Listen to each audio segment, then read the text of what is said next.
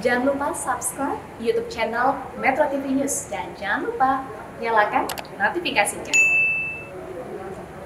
Dua medali emas kembali disumbangkan tim dayung Indonesia di ajang SEA Games Vietnam 2021. Total sejauh ini tim dayung sudah menyumbangkan empat medali emas.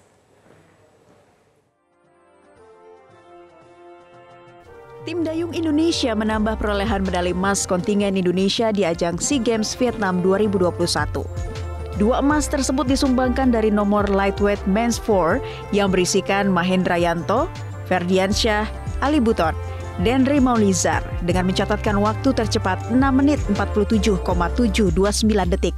Unggul atas tim dayung tuan rumah Vietnam di urutan kedua dan Filipina di urutan ketiga.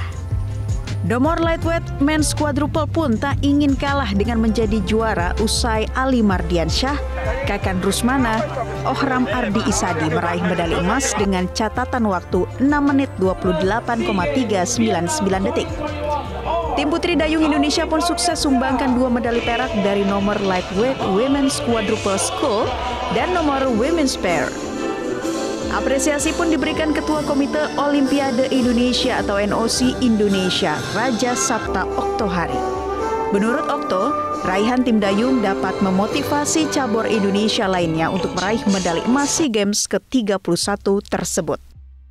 Emas keempat yang diraih sampai dengan ini dan juga empat emas dan empat perak empat emas empat perak tapi ini belum berhenti karena besok akan masih banyak lagi emas dan perak yang akan diraih oleh Total tim dayung Indonesia sudah mengumpulkan empat medali emas dan empat medali perak. Raihan tersebut masih berpotensi bertambah karena masih akan bertanding di delapan nomor lainnya.